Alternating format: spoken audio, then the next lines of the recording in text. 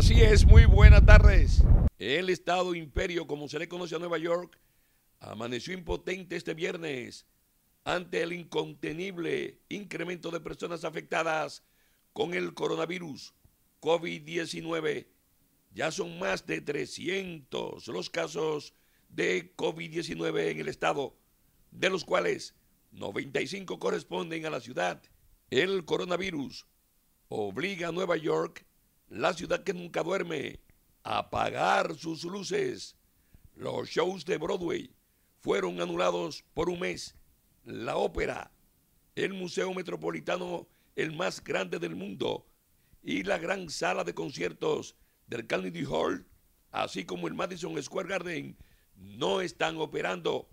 La paralización de todo acto o evento masivo, como los espectáculos de Broadway, no se veían en la Gran Manzana desde los ataques del 11 de septiembre desde el 2001.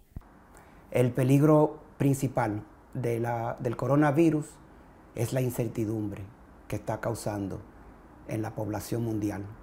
Y especialmente aquí nuestra gente en Nueva York, que son personas que viven en barrios marginados, tenemos muchos problemas eh, sociales, las personas están preocupadas, muchas veces tienen miedo de ir a los hospitales porque piensan que van a tener problemas.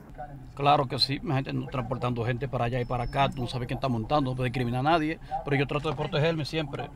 Soy de esto, dame la mano, pongo mi máscara. ¿Y también la tiene? ¿Cómo te la pone? Oh, pero, mira.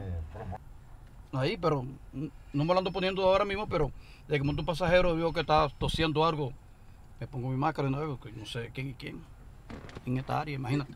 Pero por favor, no entren en pánico. Lo que tenemos que hacer es usar precaución. ¿Y cuál es la precaución?